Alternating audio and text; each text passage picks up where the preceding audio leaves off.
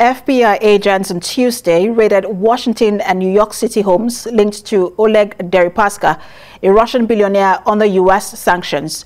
Two sources familiar with the investigation said the U.S. Attorney's Office in Manhattan, also known as the Southern District of New York, is leading the probe related to Deripaska, a metals industry magnate with Kremlin ties.